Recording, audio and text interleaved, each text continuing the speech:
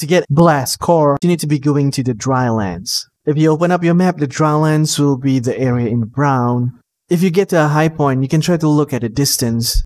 You can clearly see snowy lands, they are covered in snow. If you see these tall bony structures with a lot of rocks formation as well as cactus, that's the direction that you want to take to go to the drylands. When you're in the drylands, you want to be looking for this creature that looks like a bomb. It's pretty easy, you just have to run around and kite it, eventually he'll explode, and it will drop one blast core as well as a couple of flexwood. So that's it for today's video. If you find this video useful, be sure to hit the subscribe for more daily LEGO Fortnite content. Thank you so much for watching. Until next time.